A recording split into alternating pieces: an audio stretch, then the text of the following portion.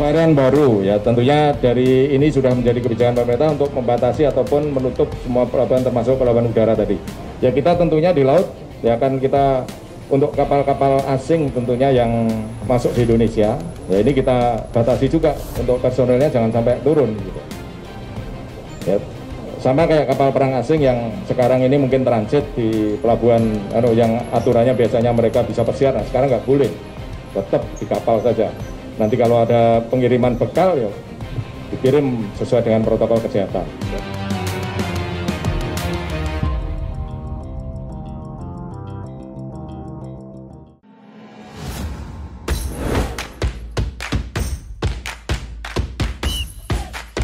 bubur ayam kalau diaduk-aduk jadi cair.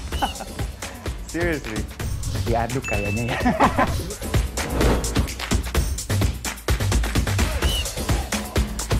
pro luar negeri gimana ya? Ini demi kemajuan bangsa Indonesia.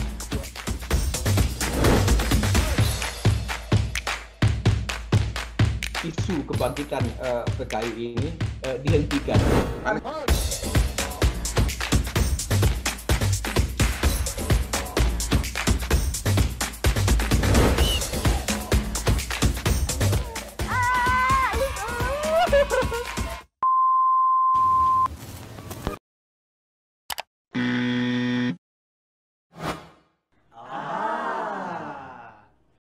Medcom.id, a part of Media Group News.